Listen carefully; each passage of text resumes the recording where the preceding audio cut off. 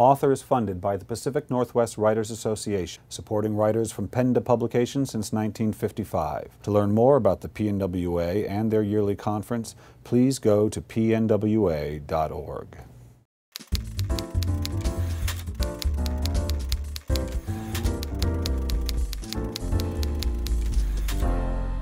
Hi, this is Bill Kenower of Author Magazine, and today I'm in the Seattle home of author Robert Dugoni, author of In the Clearing. Welcome to Author. Thanks for having me. Great to be here. You know, Bob, we've had a bunch of these conversations, both uh, through my radio show and here on Author, and I don't think I've ever asked you really how it began. I know that you, you were a journalist and obviously you had a, a career as a lawyer, but um, as I understand it, really writing, book writing, novel writing, was that always the plan? Yeah. Underneath it all, even when you went off to college? Seventh grade. I know you went and told the story in Yeah. front of, at your Catholic school, right? Yeah, yeah, seventh grade. Seventh grade. Um, I was asked to give a speech on slavery, and I Yeah. chose the position of an abolitionist. Short of a long story, I gave the speech. When I was done, nobody clapped.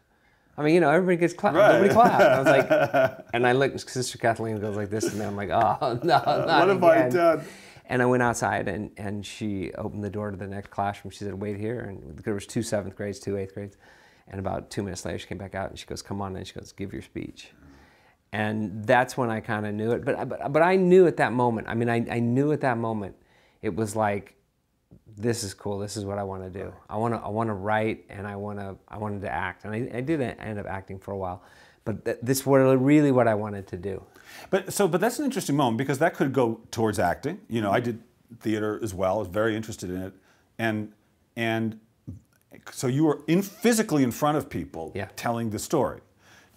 But that's a different thing than what you do now. Although you do get in front of people, obviously, and so why books? Why books instead of screenwriting, instead of acting, instead of I was a better writer than I was an actor. And, and you know, the, the interesting thing is when I write, I write with an envisionment, if you will, that there, there are people reading it.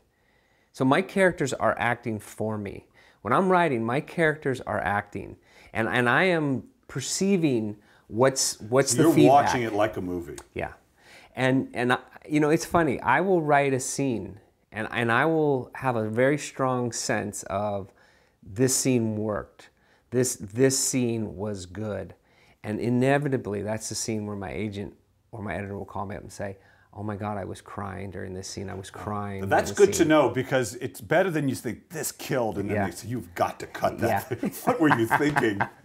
yeah, I mean, I, I probably get that too. But the last book that I, the the Tracy Crosswhite number four in the series, I just got through writing and I'm in the you know, kind of the final edit stages. But both my editor and my agent both said the same thing. And I remember when I read when I wrote this scene, it's a scene when they're in somebody's house and they're having a big Italian dinner to celebrate, you know, something. And I remember when I wrote it, I, I said, this this works. This moves people. And so, I don't know where you stand on this. I'm I get pretty woo woo when it comes to the writing process. Mm. And for me, when I have moments like that, there's always a feeling of like that came through me. I heard that. I don't say anymore where did it come from, but there's a sense of it being delivered to me Yeah. and me sort of doing the best I can to get out of the way. Yeah. Is that do you I, ascribe to I that? mean, I agree. I, you know, years ago, I, I heard Diana Gabaldon say something very Yeah. similar, and it Yeah. was up at the Surrey Writers Conference. And everyone, you know, I remember thinking, what a bunch of hokum. Uh, and, and she's such a lovely lady. And now I'm in total agreement with her. I, I always tell people, I don't believe stories necessarily come from here. I think the really good ones come Yeah, from here. yeah. And when you can get it to come from here, you know it.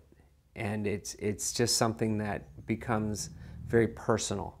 Um, yeah, it's it, the when I'm writing my best is when I go back even the next day or two or three months later when I'm in the editing phase and I'm reading it and I don't recognize the writing. yeah.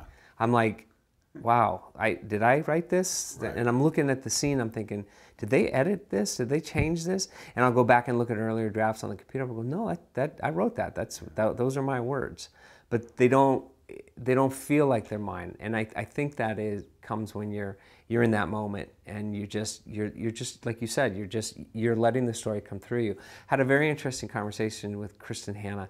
Actually, it was an email conversation with Kristin Hannah after she wrote The Nightingale which I thought was a brilliant book. And I emailed her to tell her, and her response to me was something in the way of, sometimes good stories come to us and we just need to get out of their way. You know, and I really hope our viewers take that in because it's a hard thing to describe, but it is, I think, what we're looking for a sense of asking and letting the answer come.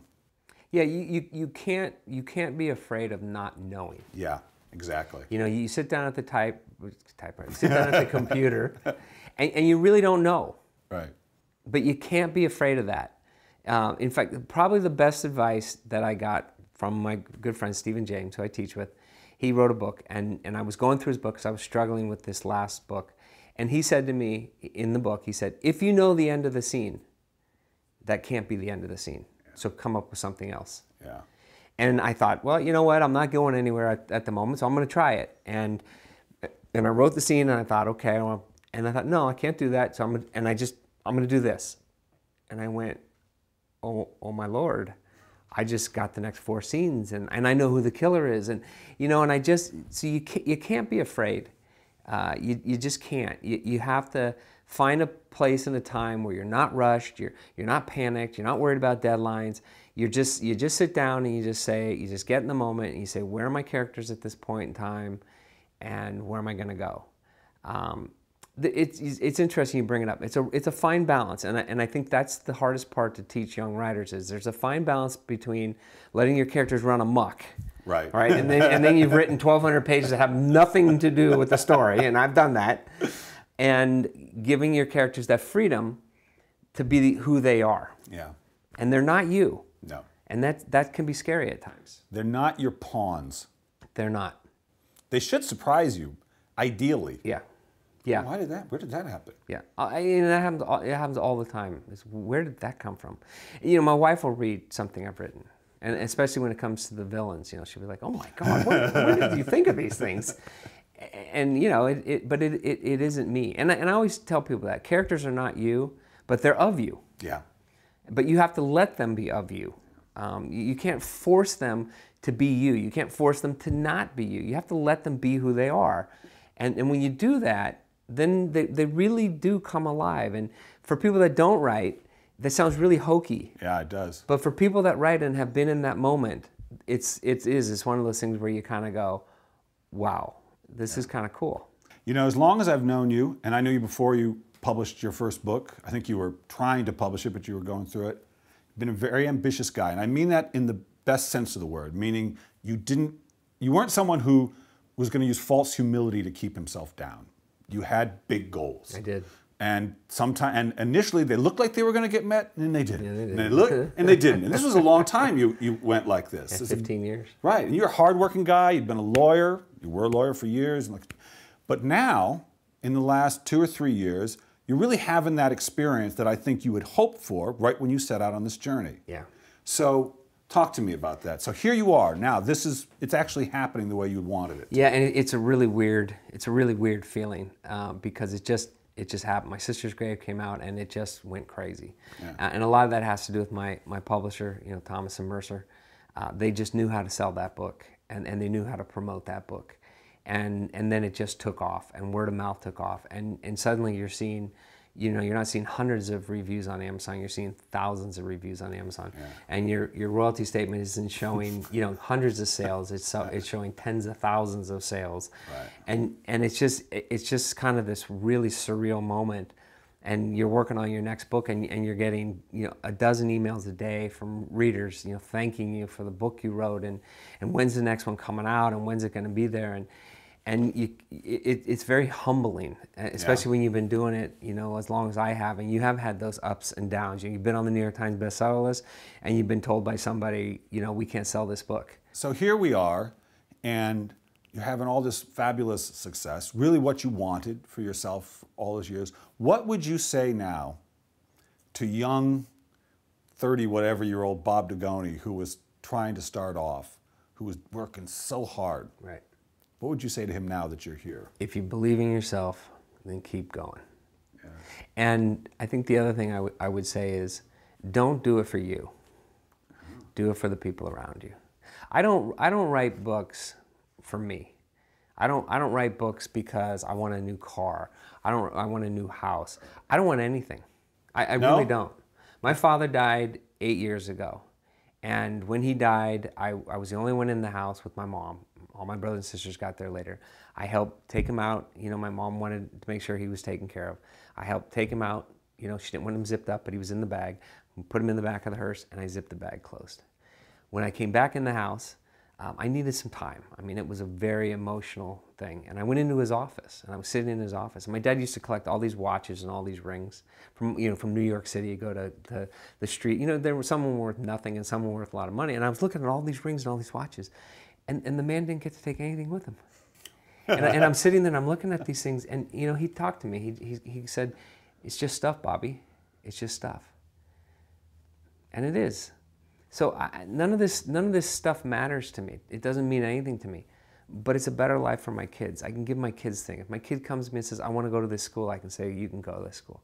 If my kid comes to me and says, "Dad, I you know I need this," I can say, "I'll get it for you."